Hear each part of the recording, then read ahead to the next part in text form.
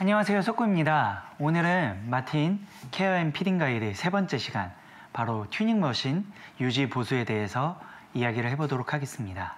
지금 말한 tuning machine은 이제 우리에게는 익숙하지 않은 단어인데요. 쉽게 말하면 우리가 알고 있는 이 head machine을 이야기합니다. 이 head machine 이걸 이제 그 feeding 가이드에서는 tuning machine이라는 표시로 되어 있었는데요.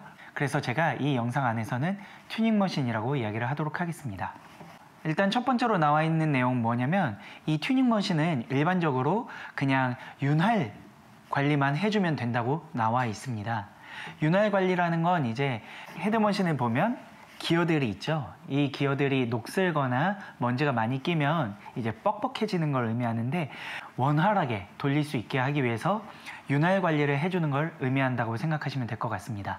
마틴 기타 같은 경우에는 이 tuning machine이 크게 두 가지 타입이라고 생각하시면 되는데요. 하나는 지금 보시는 것처럼 기어가 이렇게 눈으로 보이는 open gear 형태의 head machine이 있고요.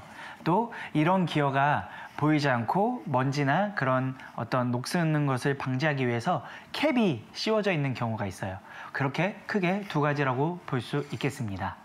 그래서 일단 기본적인 밀폐 형태의 그런 tuning machine은 사실상 윤활 관리도 하지 않으셔도 되는 거라고 생각하시면 될 것 같고 이제 이런 개방 형태 open gear head machine은 윤활 관리를 좀 해주시면 좋다고 나와 있습니다.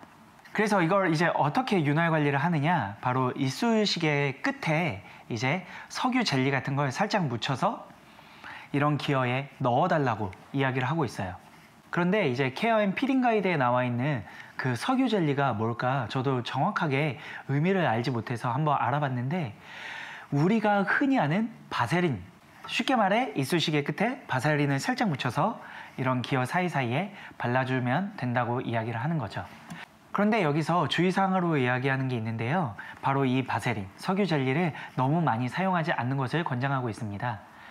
그 이유는 이제 그 바세린으로 인해 오히려 더 많은 먼지가 기어 사이에 끼일 수 있기 때문이에요. 그러면은 좀 더 마모가 빨리 될 수 있다고 음, 주의를 당부하고 있습니다. 그리고 또 일부 head machine들은 이 돌리는 것을 좀 더 용이하게 하기 위해서 이런 head machine 헤드 쪽에 나사가 있는 경우가 있습니다. 이 나사의 역할은 이제 tuning machine을 돌릴 때 좀 더 용이하게 하거나 혹은 좀 더 뻑뻑하게 하기 위해서 이제 조절할 수가 있는 건데요. 그런데 이런 기어 중간에 있는 나사를 너무 꽉 조이게 되면 돌리는데 너무나 많은 힘이 소요되기도 하고요. 또 너무 이걸 풀어두게 되면 헤드머신이 너무 헐겁게 돌아갈 수 있기 때문에 이 기타 줄을 교체할 때마다 이런 나사 부분들도 한 번씩 점검을 하면 더욱 좋다고 이야기를 하고 있습니다. 이 외에 이제 튜닝 머신을 유지 보수하는 것에 대한 내용은 크게 없었어요.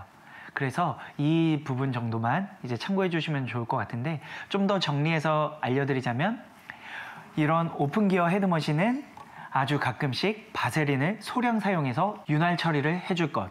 그리고 또 하나 기타 줄을 교체할 때쯤에는 이런 데 있는 나사들을 점검해서 어, 적당히 조여주는 것.